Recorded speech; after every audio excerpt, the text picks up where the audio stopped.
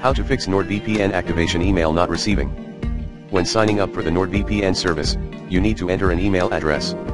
You will be using it for login and will receive your password to that same address.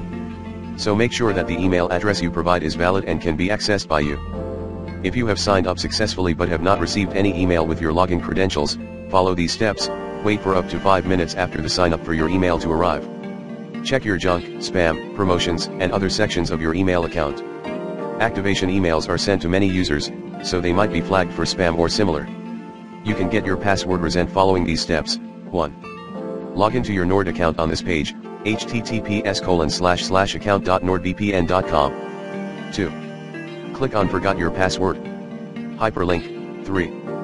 Enter your Nord account registration email address and click Send Reset Link. Tip.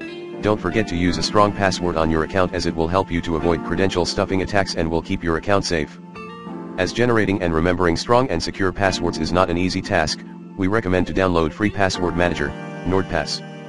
It generates secure passwords when needed and stores them safely, letting you avoid time-wasting password resets in the future.